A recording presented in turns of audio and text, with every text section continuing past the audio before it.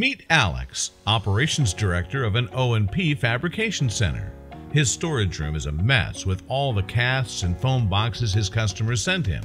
Alex doesn't know what to do as he can't get rid of them. Alex is not over with this problem since he receives more and more foam boxes and casts every day.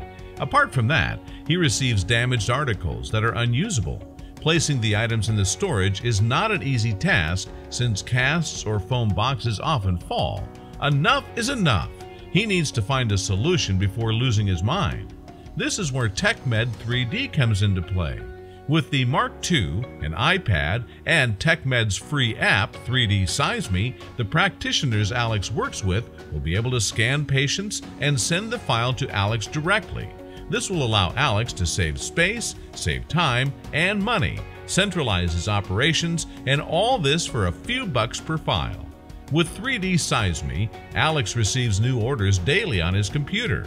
Also, the storage room has never looked cleaner. All that stress he carried just washed away. Finally, Alex is able to produce more of his product in a lot less time.